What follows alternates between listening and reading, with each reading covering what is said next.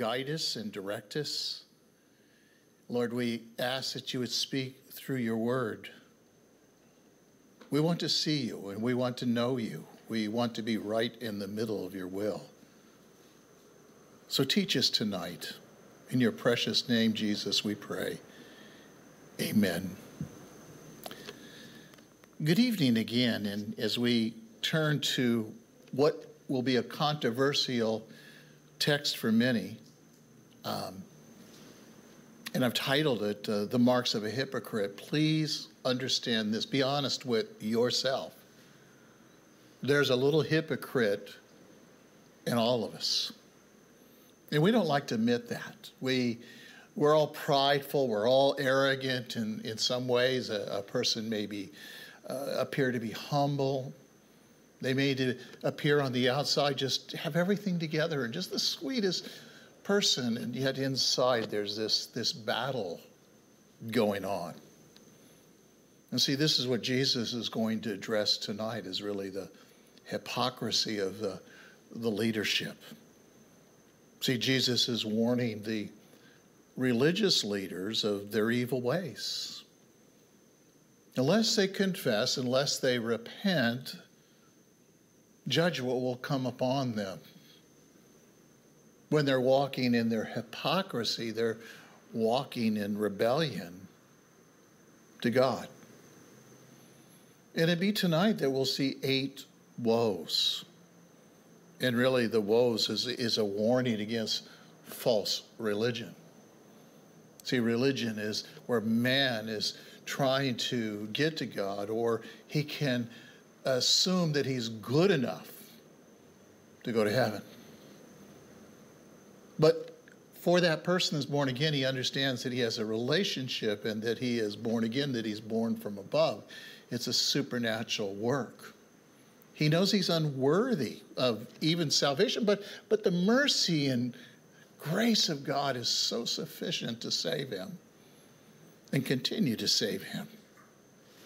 Well, Jesus is dealing really, again, I want to bring this point with the religious leaders, and we'll see this later on. He, they are the blind leading the blind.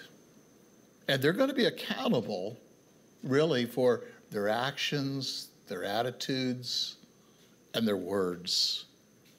Well, look with me in verse 1 of our text. That's again Matthew 23, verses 1 through 12. We're going to look at what they sought. That's the religious leaders, the scribes. And it says, And Jesus spoke to the crowds and to his disciples, saying, The scribes and Pharisees have seated themselves in the chair of Moses. Now, we need to first ask that question what is the chair of Moses? The seat of Moses is generally what is referred to. It is a, a stone seat that the leader, the, the one in, in the greatest authority in that synagogue, would sit in and he would teach, and all the people would stand. And now notice what it says in that text beginning in verse 2. It says, And the scribes and Pharisees have seated themselves in the chair of Moses. They have exalted themselves, they have put themselves in a place of authority.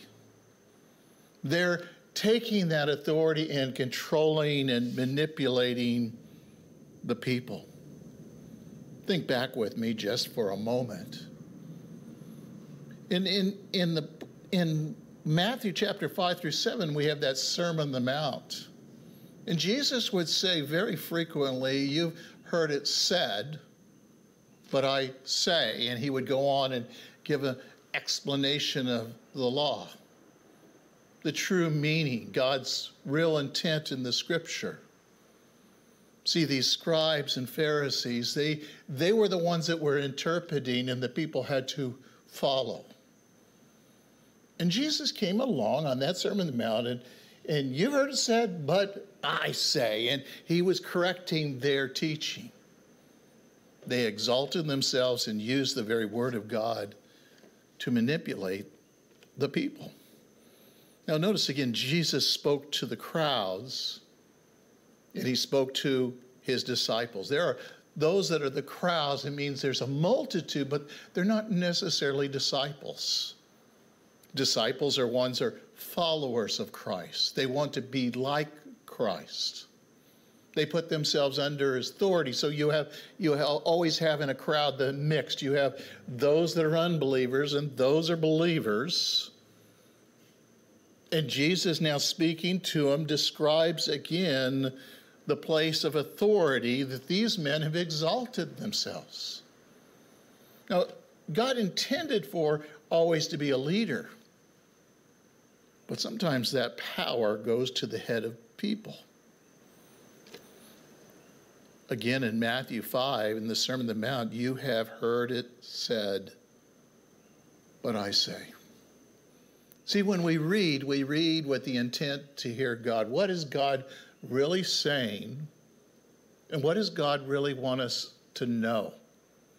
Why is he saying this? Or even books have books have a main theme, and there's many things taught within it, but there's a theme. And that's what we need to know is really what does God want us to know? Look with me in verse 3. In response to those first two verses, this is therefore all that they tell you, do and observe, but do not do according to their deeds. For they say things and not do them. And we're going to learn what those things are. But what he's saying is, they're in this place of authority, and you need to listen to them and you follow them because if you're obeying them and submitting to them the best of your ability, you're submitting unto the Lord and you're honoring the Lord. Now, they would again make all these laws, these rules, and, and they would be like a burden we're going to see in a few minutes. They would lay it upon the people. They couldn't keep it themselves, but, but they would lay it upon. They would make it so difficult the people couldn't even keep it. See, this is what false religion does it, is a, a religion of hypocrisy. Now, it's, it's good to obey their preaching, but it's not good to follow their practice. Maybe you've heard a, a, father or mother, do as I say, not as I do. Like, I have this privilege, I can do whatever I want to do. You want to follow a leader that's following Jesus Christ, following the very word of God.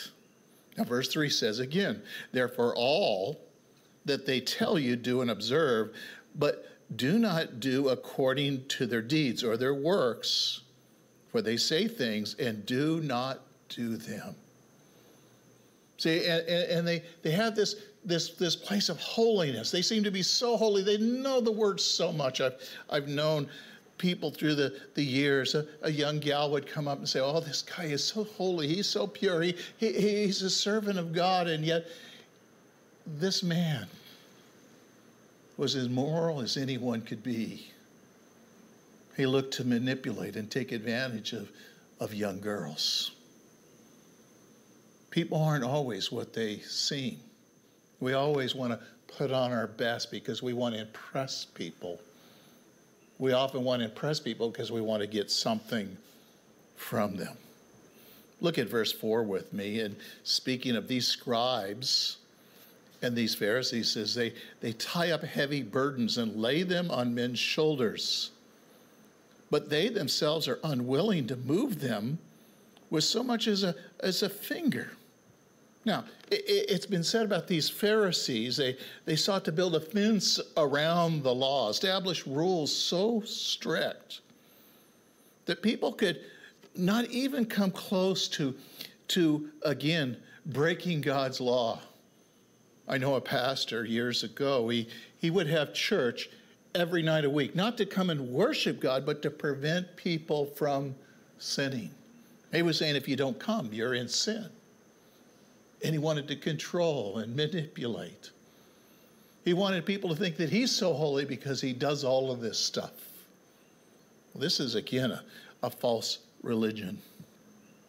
And they lay in what we learn about false religion and the mark of these, again, these hypocrites. They, they, lay heavy burdens upon the people. They, they impose heavy rules and laws. And I, I used to know a church, and I, the pastor is gone, but they would measure skirts as people come in. If they weren't the, the right height, they would ask the people to go. You know what I hope is that the, this church would fill up with all kinds of people. It would fill up with sinners that come and get saved.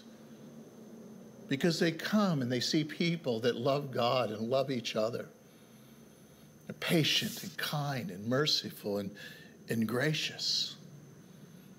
They don't see people just trying to keep rules. They see people that are just simply loving, loving God and loving others. But these, again, lay these heavy burdens, the, the rules and regulations. And sometimes people feel safe in that environment. It, it's like, okay, I'm, I'm here. I know I'm okay. Like an animal that's been in a cage all of its life and turned loose, it goes back into the cage. These rules do not save you. It's a Savior that will save you. And we turn our lives over to Him. And, and so what they're doing is putting people in this situation. Now, there's a question that, that arises in what sense did these scribes and these Pharisees tie up these heavy burdens upon the people? unwilling to, to, to lift them up. Well, the Pharisees and uh, again, and scribes, they interpret the law of Moses in such a way that it was extremely burdensome. 633 rules. No one could know them all. No one could remember them all. And the people carried this heavy guilt, this burden. And I love it in, in Matthew 11 Come, all who are weary and heavy laden, and I will give you rest. Not come to the law, come to Jesus. Take my yoke, it's light and easy. He's the one that's going to, to carry it. You fulfill the law as you come to Christ and you love with the love of Christ, and his love flows through you. Well, this false religion is a, a religion of show. Again, you see these men, the men of the cloth, sometimes it's been used to illustrate. The most holy priest, most holy pastor, the, the reverend. We're just men like you. We have our struggles. We're growing, we're maturing. Sometimes churches come and you have to have your, your best clothes on, a white shirt and a tie if you're a guy, and you have, a woman has to dress a certain way. Rules. If you're not wearing the best and buying the best, then, then God's not impressed. You're not pleasing Him. He's not honored with you. These men also liked a place of position. They like people looking up to them, calling them all the different titles. They wanted to be honored and exalted by men. There's only one person in this world you need to really please. That's the Lord Jesus Christ. If you're married and you're pleasing the Lord Jesus Christ, you'll be pleasing your wife and you'll be pleasing your husband. It's also a, a, a religion of, again, titles. Is again, people like the titles it makes me more important. You know, it doesn't matter when a person comes in through the doors, everyone is important, whether they're rich, they're poor, they read their Bible many times a day, or once a day, or once a week. Every person is significant, important, so much that Jesus Christ died upon the cross for every single person.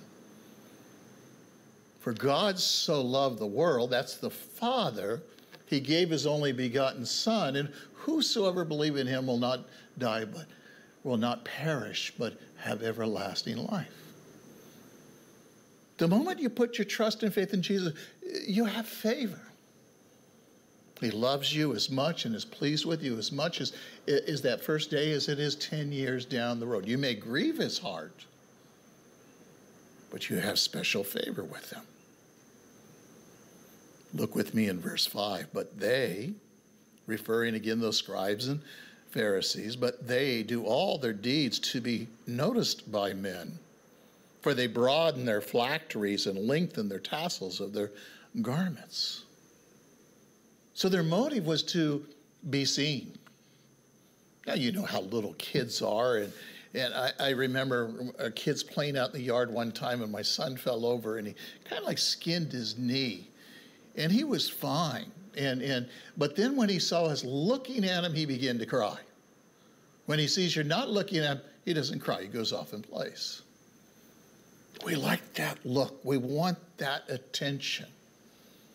And what they're doing is to get attention, to find favor of men.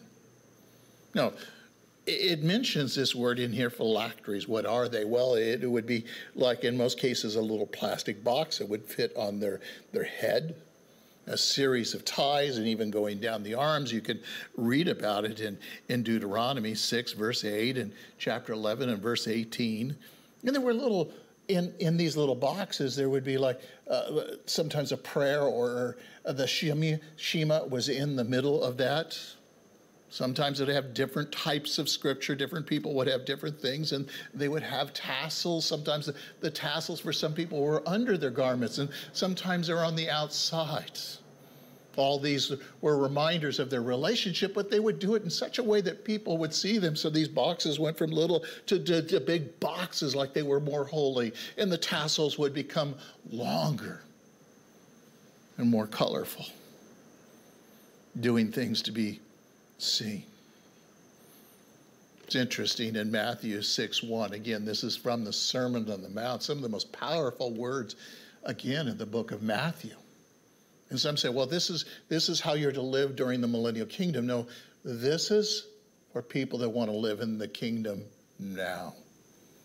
If you've been born again, you you begin to experience the blessings of the kingdom while you do not have the fullness of it. This is how you and I are to live. These are this is the explanation. And the Pharisees, is, again, and the Sadducees, uh, the, the scribes hated this. And he says in Matthew 6 1, Beware practicing your righteousness before men to be noticed by them. Otherwise, you have no reward with your Father who is in heaven. It goes on in other passages. Well, your reward is, is, is by people giving you favor. Again, the only one that ever matters is what God thinks.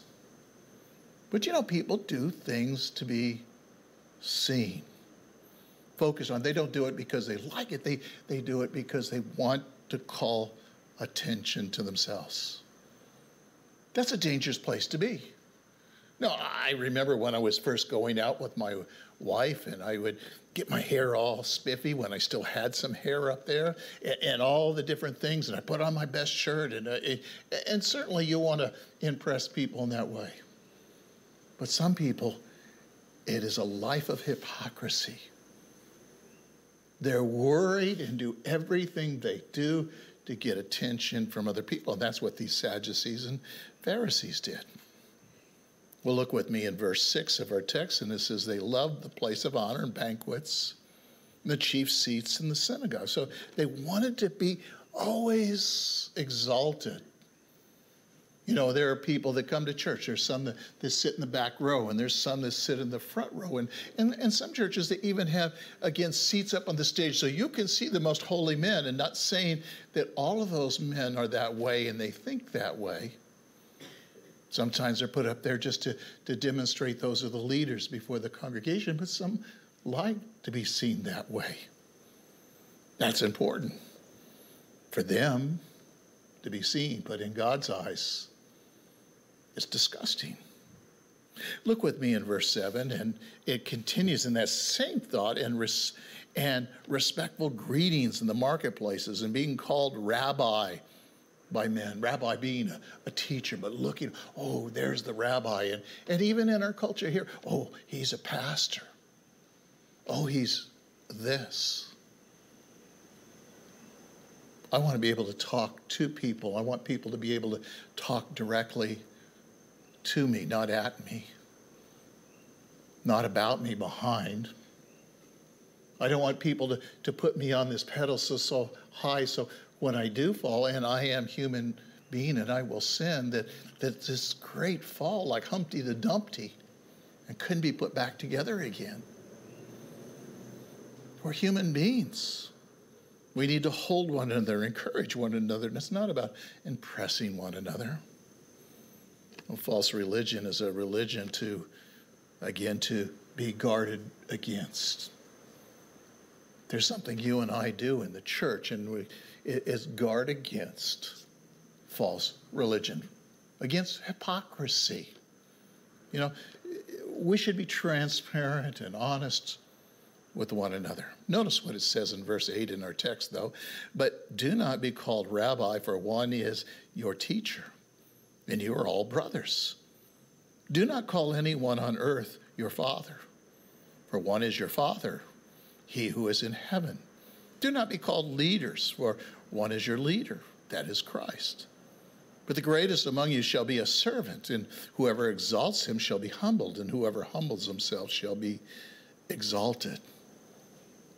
Now, please focus on the context. The context is the hypocrisy. Wanting to be called this most holy rabbi, exalted above all the other people. See, that's the idea here. A teacher. is not wrong to call somebody a rabbi or a teacher, and certainly Jesus was called that, and he, he saw no disrespect in the others. Uh, he saw no disrespect, but it's the attitude behind it. Wanting to be exalted, to be seen, that they're higher than everyone else. Now, notice again, verse 10 do not be called leaders. There's one, the leader, who is Christ. We know that Christ is our Messiah, our Savior. We, we understand that. And, and so nothing compared to Christ. We don't put anyone on the same level as Christ or God the Father. The Holy Spirit is our teacher. He leads us in all truth, the scripture says. Now, the contrast comes here again, that it's interesting in verse 11. It says, But the greatest among you shall be a servant. A servant. And whoever exalts himself shall be humbled, and whoever humbles himself shall be exalted. It's not about being a leader. That's something that, that God calls and raises people up and puts them in that position. That's what God does, and God ministers through them. And the work that's done is, is His work. But if you want to be great in the kingdom, this is the contrast to this. They, they want the title. Then be a servant, a servant of all. Jesus come not to be served, but to serve others. Jesus come to lay down his life for you and me, yet he was God in the flesh. He's the example that we follow. So if you if you're willing to lay down your life and follow him, then that's what makes you great. Great in the kingdom. When everyone pats you on the back. Okay, that's all you're going to get if you're doing it for the reason to be seen. Now, how do you know a teacher? How do you know a, a leader? Because they will teach and people will follow. And when they lead, people will follow.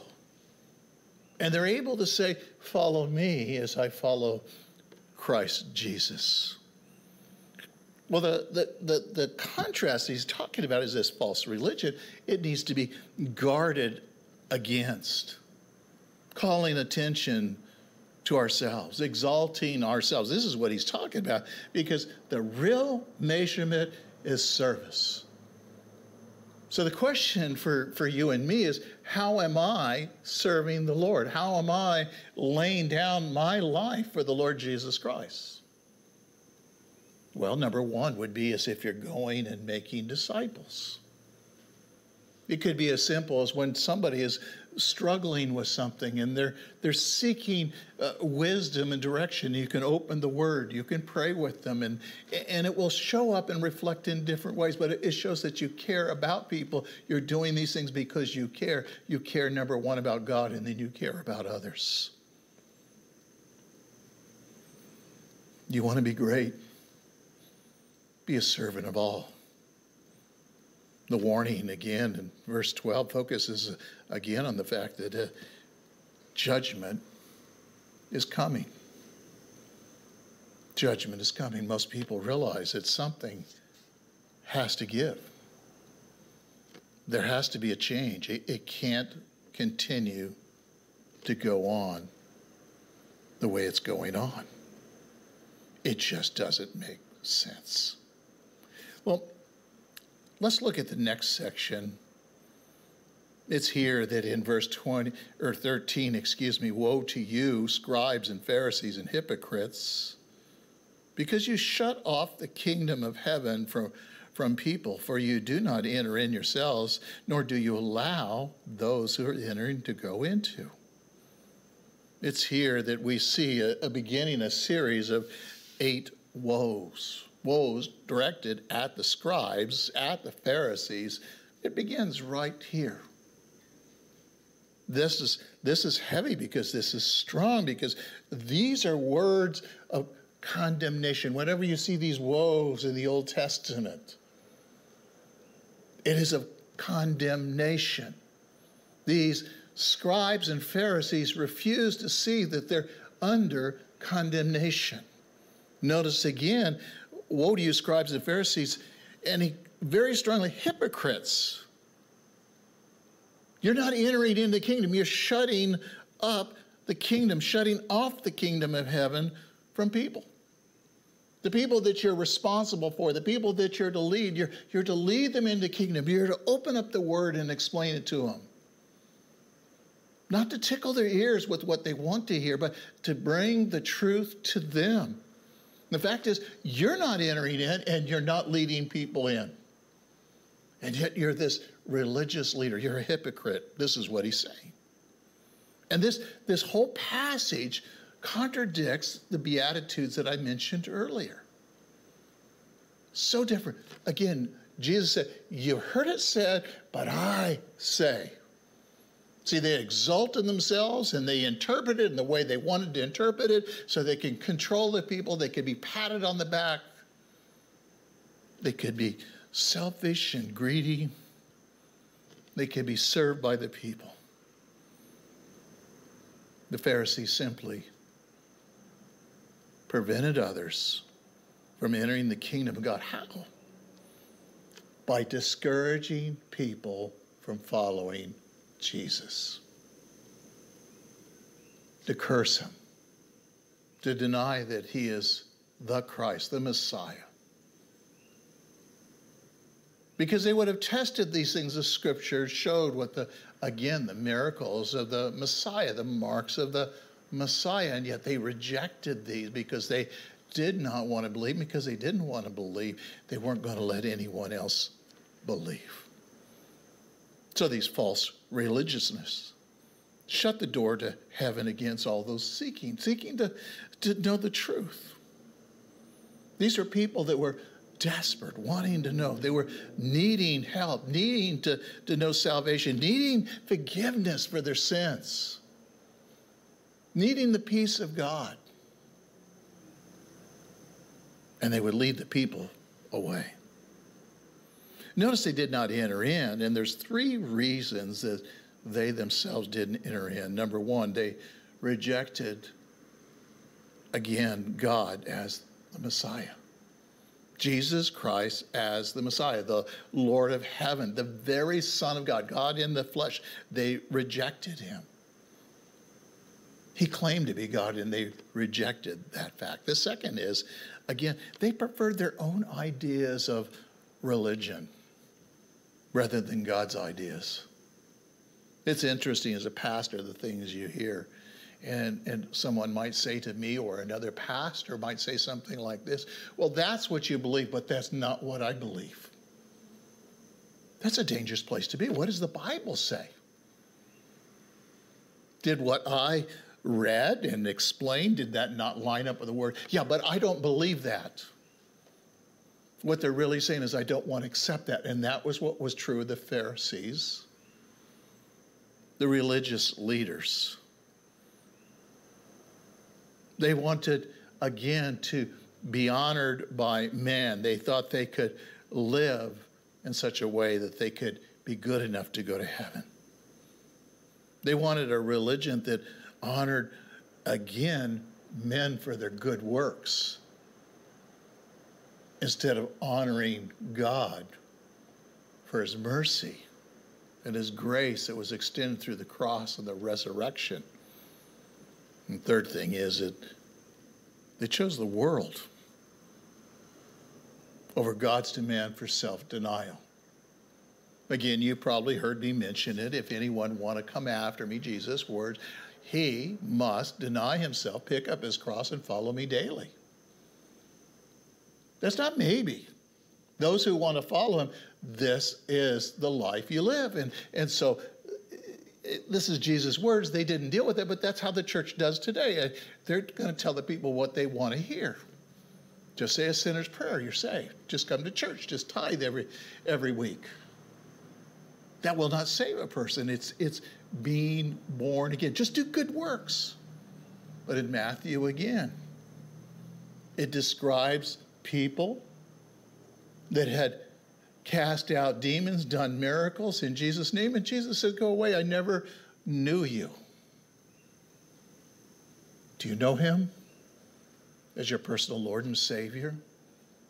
Do you know that he is the one that sustains you and keeps you? You know, if he's called you to do something, then he will enable you and he will provide those needs for you. See, they chose the things of the world, eh, position and honor, recognition and esteem, wealth and power and authority and, and security. This must be, I must be blessed by God if I have all these things. And what they were doing is fashioning their own idols. This was a idolatry, and they didn't enter in because of that. Look again in verse 14 in our text. Look at their prayers we're going to talk about. Woe to you, scribes, Pharisees, hypocrites, because you devour widows' houses.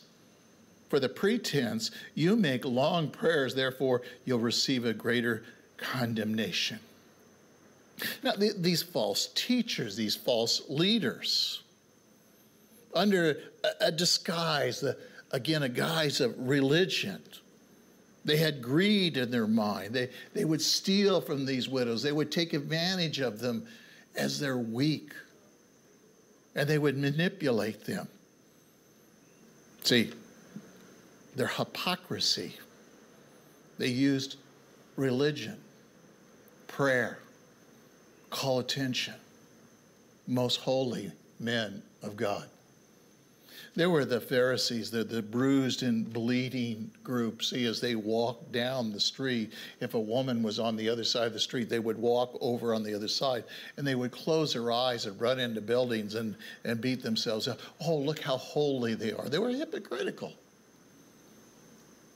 They knew they would find favor in the eyes of the people. People would look up to them, people would listen to them. The fact is, there's a doom that they're headed for. Again, in verse 14, it, it talks about there's a greater condemnation. Why? Because they had the Word of God, they had that access to God. God had made it clear in their hearts, but they rejected the truth, the truth that would set them free. Look with me in verse 15. Woe to you, scribes and Pharisees. Again, this condemnation. Again, scribes, Pharisees, and hypocrites. Strong words. Because you travel around again the sea and the land to make one proselyte. And when he becomes one, you make him twice as much a son of hell as yourselves. So, so they were missionary minded. Saying, look, look, you go to great lengths to, to make a proselyte. But it was of, of you, not of, of God, not of the Messiah. And they wouldn't enter into the kingdom. They brought a, a, a, a gospel which was not a gospel at all, it was a, a corrupt teaching. The followers were corrupt. Again, they, they sought again new converts, but they really weren't reaching people for God. See, what they were reaching is, again, a man made religion based upon works. The Jewish people thought that's how you would approach God. There are churches today that have that same approach. Uh, well, I know I'm saved, but if I want to find favor with God, I, I've got to keep the Sabbath. I've got to do this and I've got to do that. You have perfect favor with Him. You may grieve His heart the choices you make. But when you know you have favor with him, when you know he set his love upon you, you want to serve him, you want to live for him, you want to please him. Not out of legalism. This is what they brought about as a, a legalistic way of reaching to God. Almost like the Tower of Babel. They were going to build a building to God to reach the heavens. You can try all day with your good works and never, ever get there. The way up is down. Humble yourself in the sight of the Lord, and He will exalt you in due, due times. Now, it's talking about a proselyte, a, a, stranger or sojourner. That comes from Exodus chapter 12, verses 48 and 49. But if a stranger sojourns with you, celebrates the Passover to the Lord, let all of his males be circumcised, and then let him come near and celebrate. He shall be like a native of the land, but no uncircumcised person may eat of it. The same law shall apply to a native as to the stranger, the sojourner. So a proselyte is one that who wanted to live among the people. He became like the people. He again would go through the process of circumcision. He wanted to, to keep the feast. He recognized that there was one God. And, and, and they wanted to come into Judaism. And this is what they're talking about here. Now, proselyte is, a, is, was a Gentile. You're either a Jew or a Gentile at that time. There's actually three different groups today there's the Jew, the Gentile, and the believer. Which group are you? And that's important to understand. Are you a, a Jew or are you a Gentile? Or are you a believer? But some say, well, I, am a, I'm a Baptist, I'm a Nazarene, I'm, I'm a missionary, I'm this. Our identity is not in the name on a building, our identity is in Christ Jesus, in Christ Jesus alone.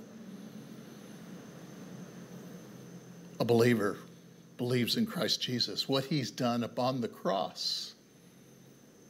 He died for you, for me, for our sins, and raised from the grave.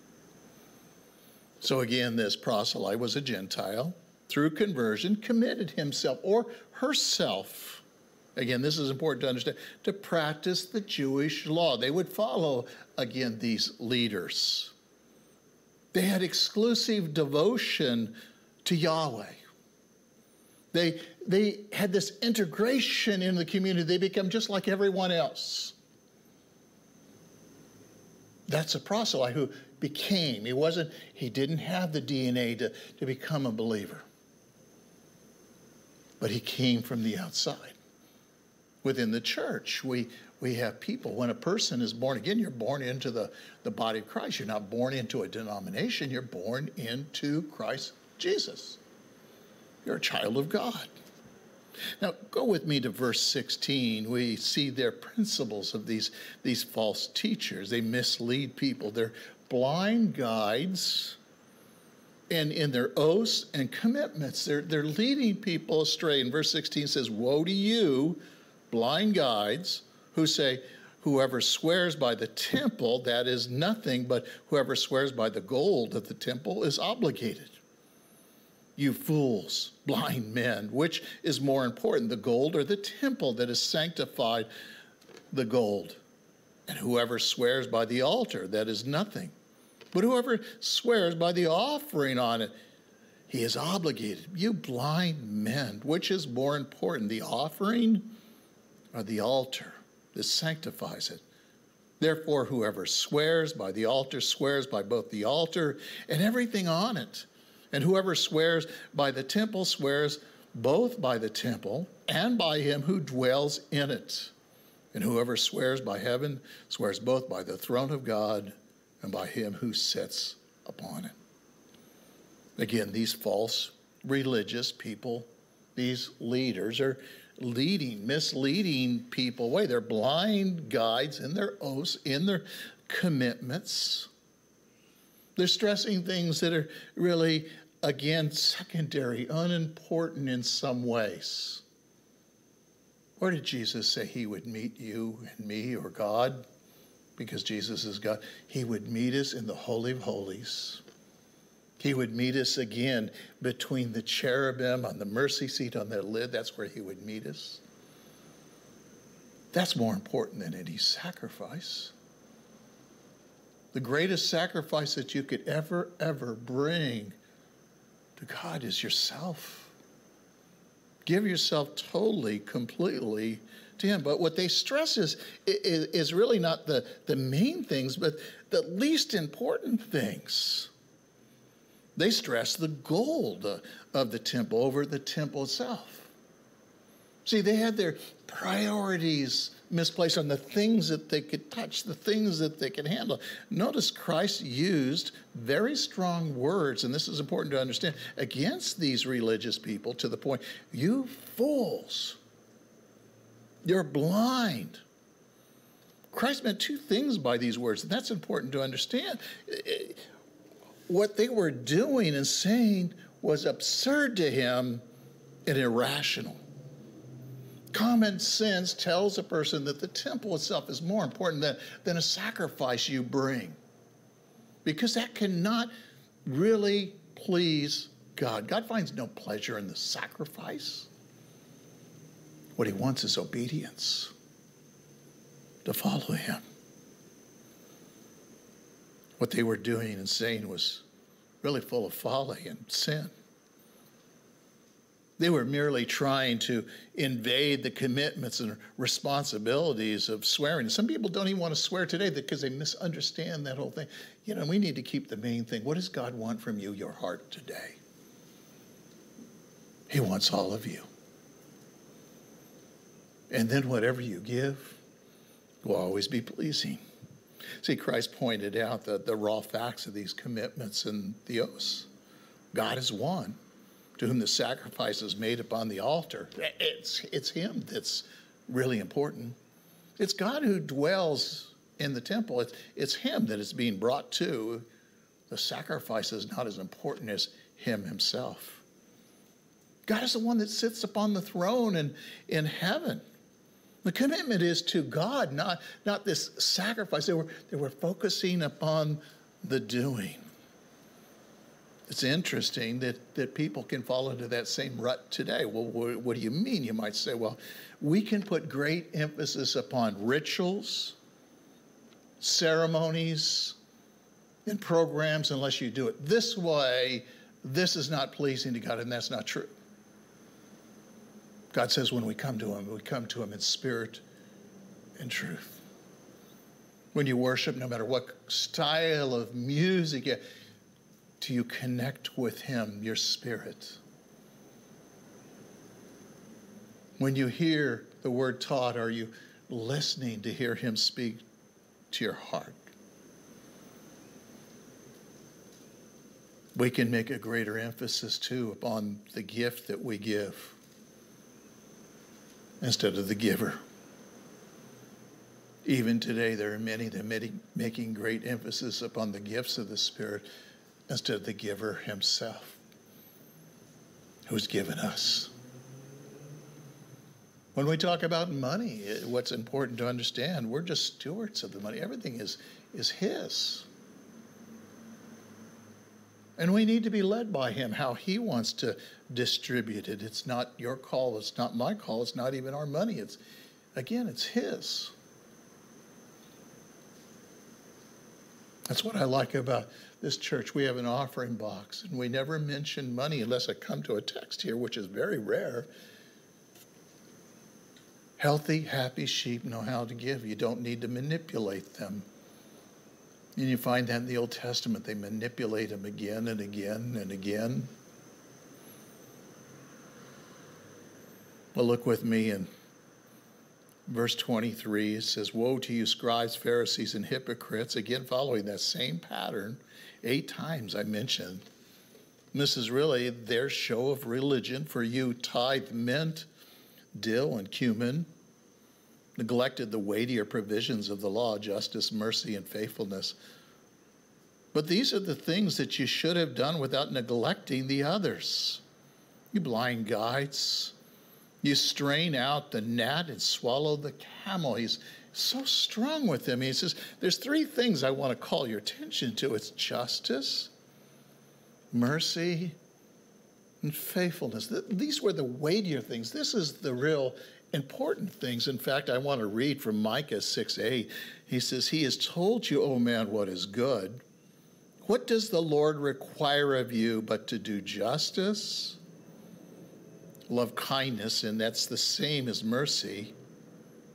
And walk humbly with your God means you're going to walk in faithfulness. So there's there's justice. Justice is, is treating your neighbor as as we should doing and saying nothing that would hurt him, showing honor, showing respect to him, never ever being guilty of injustice or allowing injustice to happen if, if someone were wrong, your own kids.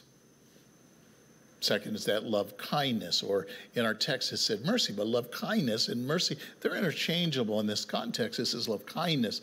Uh, showing care and concern and mercy and tenderness to all who are weak, bad, needy. Not being hard or distant or demanding or cruel.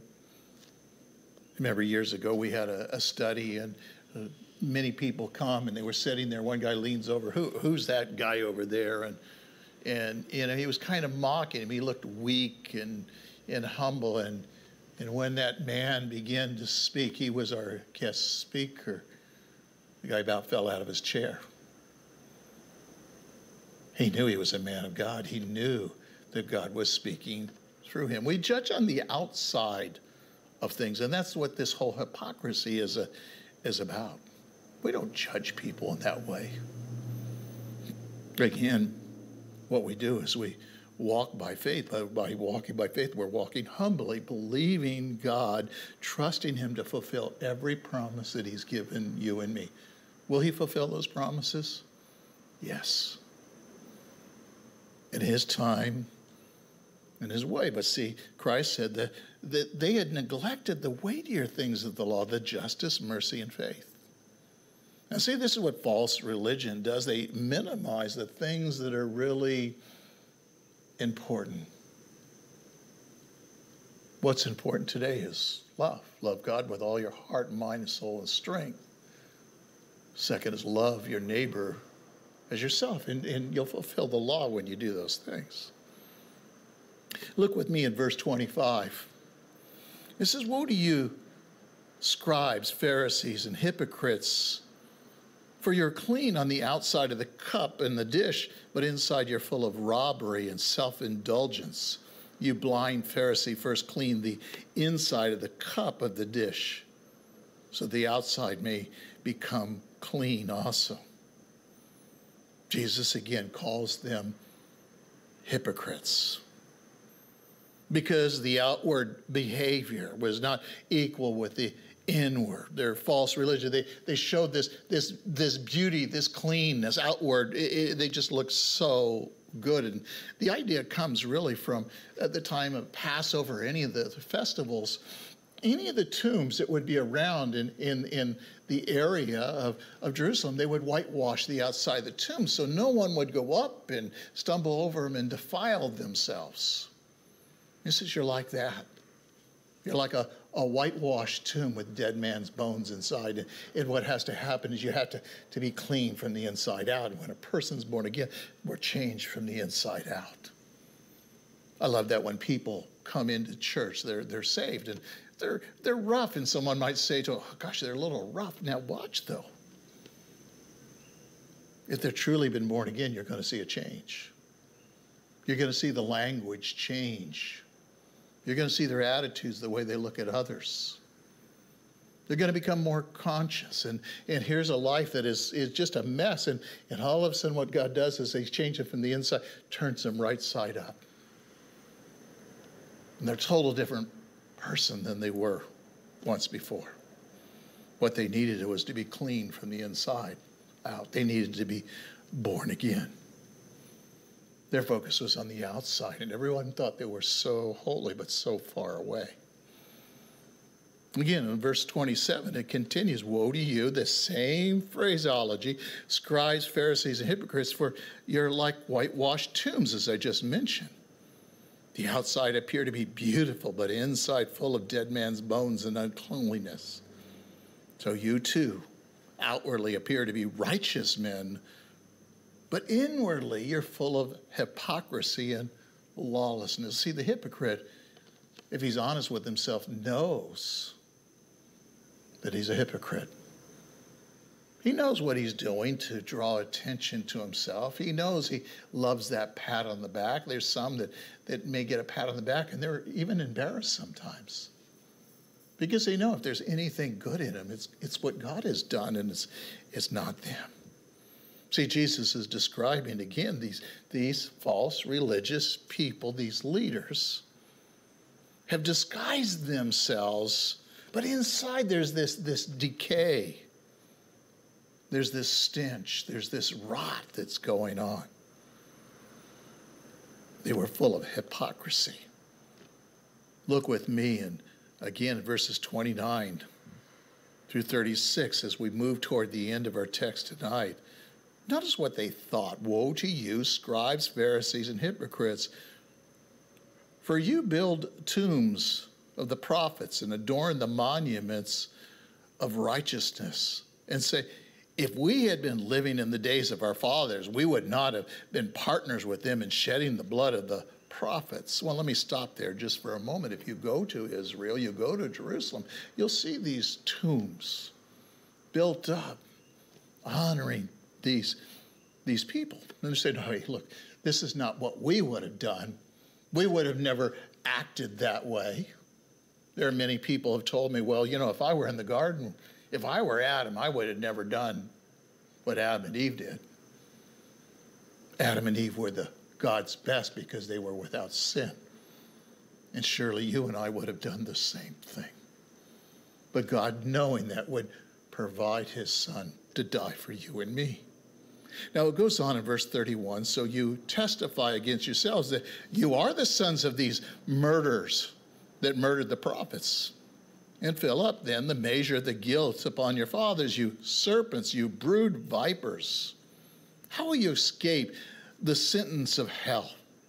Now, again, these false religious people that pride themselves on this godly heritage, I would never act that way. I would never do.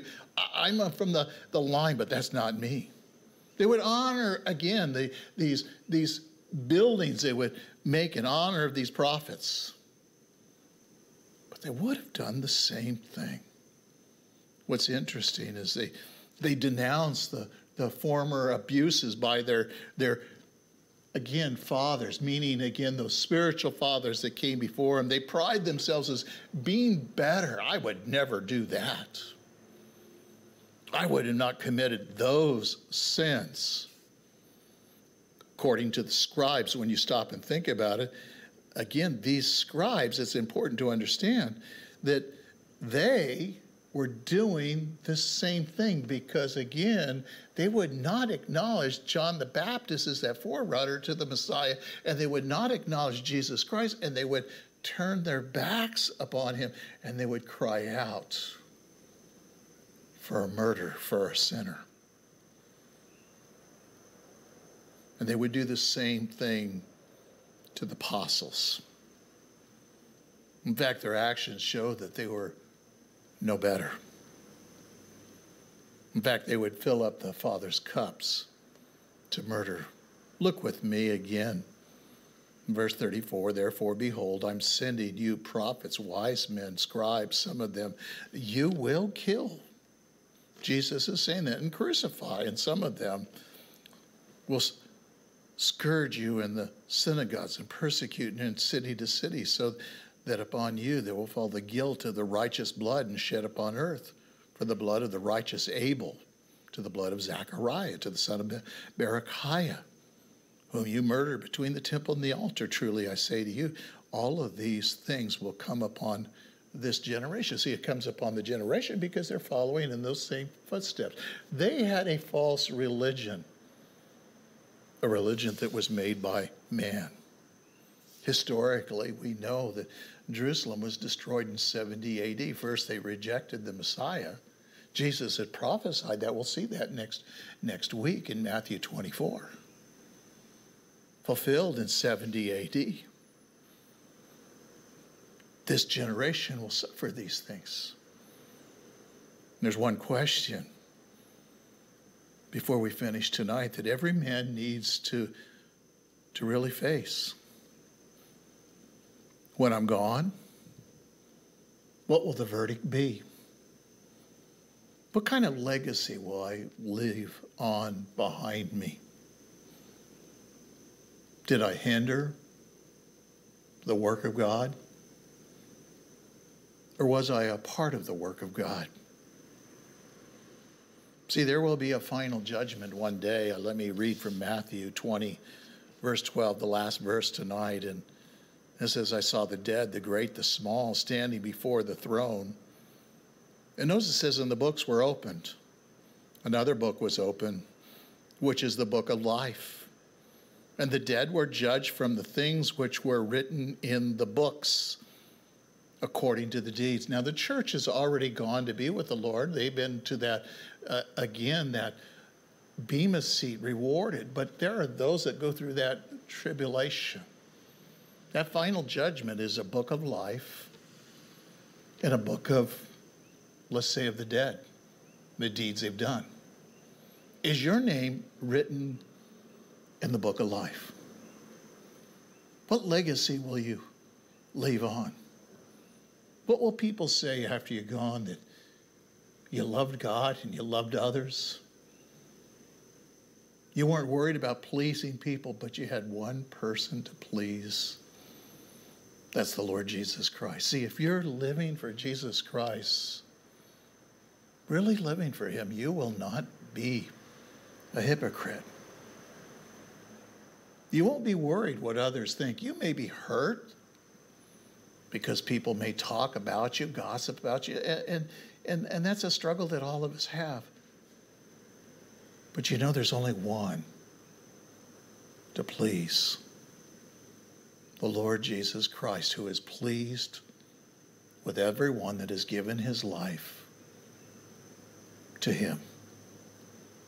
Won't you give your life to him if you haven't already? All who call upon his name will be saved. Father, thank you tonight for your word. Lord, we look at a, a text that's full of condemnation tonight. But it's because they rejected you. They wanted what the world offered. Lord, we don't want what this world offers. We want what you have for us. We want to be in your will. Father, I pray for anyone that is listening or watch in the days to come. God, if they have not received you as their Lord and Savior, or they're trying to work to find favor, may they give their lives to you. May they cast their cares upon you because you care for them. May they acknowledge what you have already done and find their favor in you and be blessed because you call them a child of God. In Jesus' name, amen.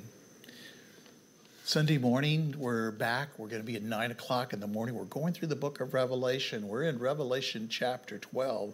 We're going to be looking at the great battle. And again, I encourage you to come out and stay in the Word let me know uh, if there's a way that we can pray for you or encourage you. Thank you again for listening. May the God bless you richly tonight. In Jesus' name, amen.